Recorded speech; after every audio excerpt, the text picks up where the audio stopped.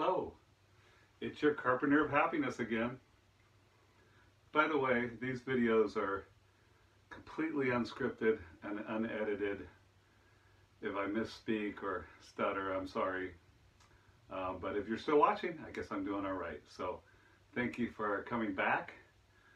Today I wanted to talk about what's called Prof Barnett's, or as I call them, Professor Barnett's. Uh, I saw a video by Rose Anvil this week, and I love that guy cutting apart boots. Some of those boots are crap anyway, I don't really care, but um, sometimes it kind of makes me cringe. I don't know, if he cuts a pair of Red Wings, I guess I'm okay with that. Someone gave him that, but this time, that nice young man cut open a pair of Professor Barnett's kangaroo boots, and they were just gorgeous boots, and I was kind of cringe, like, oh no, I won't be cutting open any boots. I don't know. Not anytime soon. I'm just going to talk about boots and love and life and stuff like that. So, Professor Barnett's, they are one of the Indonesian bootmakers. There's been a little bit of talk about the Indonesian bootmakers, but maybe we should make a bigger noise because according to what that gentleman at Rose Anvil said, they are very, very well made, handmade. Uh, these are my Professor Barnett's in front of me here, and we'll be talking about that in a minute. Um, they are works of art. They are handmade. Uh, as he mentioned, they are better made than most factory boots or uh, some factory boots, um, and better made than a lot of uh, boots here made in the U.S.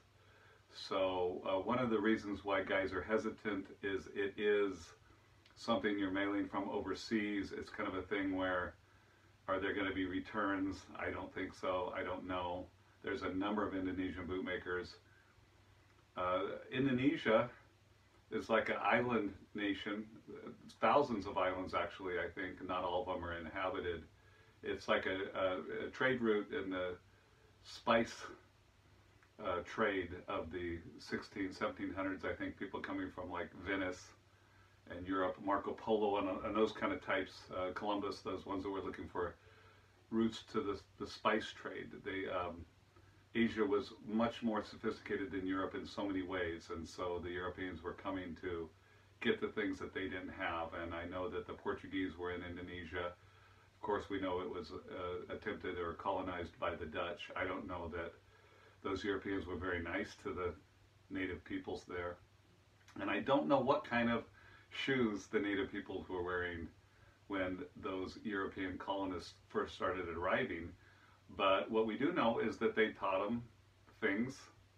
You know, uh, you know, ex- knowledge exchange goes back and forth on every level, even if uh, nations are culturally different. We still exchange ideas, and especially now with the internet and YouTube and everything, um, that exchange of ideas is just awesome, and that's what we need here in human in humankind is to exchange ideas and friendship and love. And so I am so happy that uh, Indonesia is a free country and that they have some of the most excellent boot makers in the world. And we know that a lot of these boots are hand welted, they are handmade, and um, the boots that I have are by Professor Barnett's. Now there's a, a number of other ones. Uh, when you buy boots from an Indonesian bootmaker, you may pay almost half price of what you'd be buying from some handmade makers in other parts of the world. Um, we know that in the United States, for instance, like Wesco, the family's name who founded and still owns Wesco is named Shoemaker. I don't think that's an American last name. I don't think any last names are American last names. So shoemaking and bootmaking was also brought here to the United States as it was to Indonesia.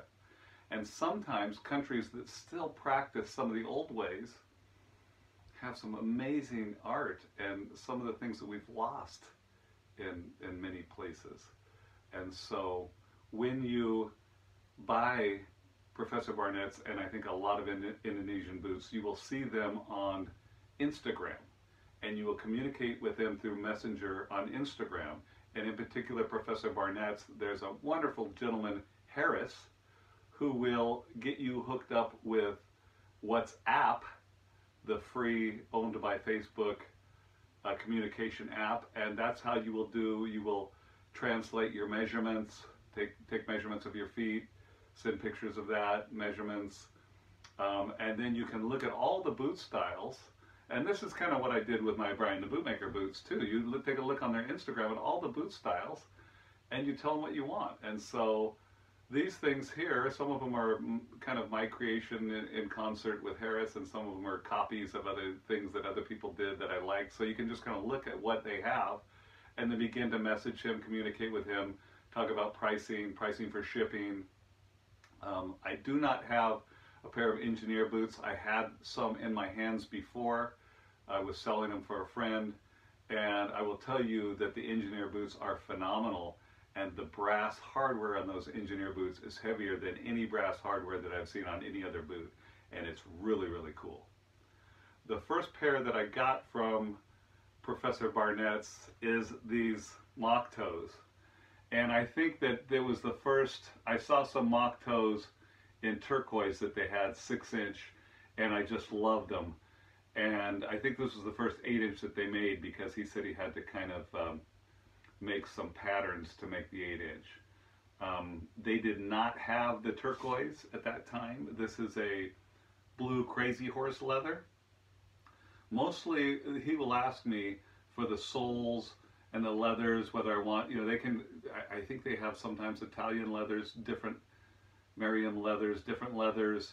Um, but I, I, usually I just take, you know, the less expensive, locally sourced stuff. That's what I did. Um, and these are mock toes. We also know that mock or moccasin is a shoe that was from the indigenous of the, the Americas here. And so that is a style that has gone around the world. Maybe there's something to these boots that is Indonesian besides the beautiful skill that put them together of, culturally indigenously, but I do not know. But these are mock toe. They are not a molded mock toe. There is actually a different piece of leather here in the middle. Um, I, they were very, very light. I wanted something that kind of blue jean, indigo-ish. And I just put a little bit of um, El Oso neutral um, polish on them and it darkened them up just a little bit. Um, El Oso is what Brian the Bootmaker uses all the time. I don't know where he gets it, but I there's an El Oso outlet that was very close to a house I used to live in in Guadalajara. So I go to the El Oso outlet in El Centro, Guadalajara, and they have it at the mercados, at the supermarkets, and everything. Also, it it doesn't usually darken things up too much, but this um, uh, it's, it's, just a neutral cream, really, and um, uh, but this uh, Crazy Horse was darkened a little bit by it. The laces are some leather, uh, heavy leather quarter inch laces that I got from like the Scottish Highland Games here in the Bay Area of California. And um, I had chose on all three of these, I chose, it's like a Dainite. Dainite is an English brand that has been, I think, over 100 years manufacturing soles in England. These are locally sourced Dainite style, as far as I can see. They are locally sourced and um, they have the little Professor Barnett's logo on the boots there. Um, it's like a little horse, kind of looks like a chess piece. And I just love these boots. You know, I love the Cuban heel or the curved heel. I, if you can see that, I got that on all my boots. Um, that uh, that Cuban heel, this this curve. Most cowboy boots have much more of a, you know, they go in a lot, but they have a taper but this what they call the Cuban heel. I don't I don't know why it's called Cuban. Has that curve right there, and I really really love it. I really love how when the the stitching stops, you have almost a little shelf of the leather there. Um, this one is a full sole, so again, we have the rubber stripe going all the way through. Those are my 8-inch Professor Barnett, Barnett's mocks. They nailed my size. Everything fit me perfectly. Um, it, it, it, took a little bit of break in for, you know, the, the heel cup here is, is kind of exaggerated in some of these boots. It took a little bit for my, uh, uh, th maybe three or four wears for my feet to kind of really settle in. I was getting a little bit of heel slip, but it, it really uh, uh, settled in and the fit is perfect. The second pair that I got is um, what they call, they just call these the mocks or mock toes, these are the eight inch mocks. These are called the Abrahams. And I was looking at the Abrahams that they, they had on their Instagram site, and I really like them. They seem to be like a traditional kind of army boot. And it looks like I got almost exactly the same heel stack and sole and um, and everything on this. But I chose the leather. They have the barogue, or what uh, I think we said Wesco calls it the dress. The holes right there on the toe. Um, I picked the stitching. I have black and white stitching there. Um, I picked everything out. I picked these colors, and I got steel toe because I'm a carpenter. And that was a little bit something I think unusual for them, but they did that, and it was no problem. It turned out great. These are amazing, heavy duty, really cool army boots. And also, I wanted to mention that it looks like all these are lined and they have a lining on the inside. They actually line them and um, it's a very soft lining, some kind of calf skin. They have some, I, I think as well as, as Rose Anvil said, there's, there's like a synthetic insole in there um, that seems like it's glued in. I haven't had any issue with it. Uh, I, I saw now that um, I was kind of trying to copy somebody's turquoise mocks, but I went 8 inch and got them blue. But then I saw that somebody now here, maybe it's one of you guys watching, it kind of copied the, my, my colors on the Abraham and bought the Abraham, I think in a soft toe. But I really, really, really love the Abraham. He calls it article. When he, you see him describe in the information on Instagram, this will be called the Abraham article. And the third pair that I got, and these I really, really These are like my favorites now. And like I told you before, it's like every pair of boots I have on becomes my favorite. Right now I'm wearing some antique Canadian made uh, gorilla boots and um, they're leather soles and I'm wearing those right now. You'll, you can see that on my Instagram, Happiness Carpenter, what I'm wearing today. Indigo Farah jeans and also um, Red Wing and other boots for work and fashion or if you're in California on Facebook, or if you're in California, the California Boot Collectors Association. I think we got another member. Yay! We got about 15 here in California uh, after the, the last video. And what we're going to do is, if we get enough guys in California that want to talk about boots, that kind of want to meet up, and because I am just kind of a little guy of boot collectors, and there's some folks here that are big time.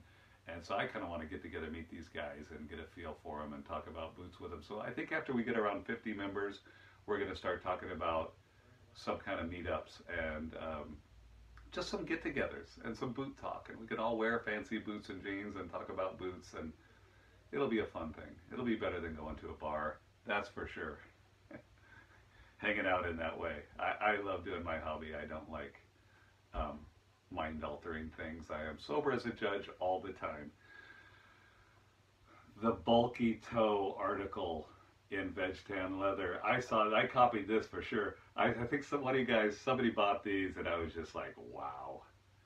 Um, I don't. This is not the kangaroo. It kind of looks like that kangaroo leather. It also has the barogue toe, cap toe. It's just the back end of that boot. It's so cool, and the toe and the little sprungness of the toe right there. And that one's got a half sole. The other two have a um, complete rubber sole going all the way through. It's also the locally sourced Dainite style. And I just really love these. I have had really good luck with Professor Barnett's and good communication and saved a lot of money. Uh, it's not that really, it's, it's getting something different, getting people's art for me, these are art. Look at this. I, you know, people are sitting there making these by hand. I'm a carpenter. Everything I do is by hand. I use a lot more machines than these guys use. I know a lot of factory shoemakers or um, shoemakers over here in the States use a lot more machines than they use. And so I just really enjoy supporting the art of bootmaking and shoemaking and I know that you do too, and that's why you're watching. So I thank you for being here today. And um, I want to remind you, just stay away from mean people. Stay away from people that are, are argumentative in your life and negative. It's only going to cause you to become that way. So please try and be happy. try and love and forgive and share knowledge of boots when at all possible. Happiness.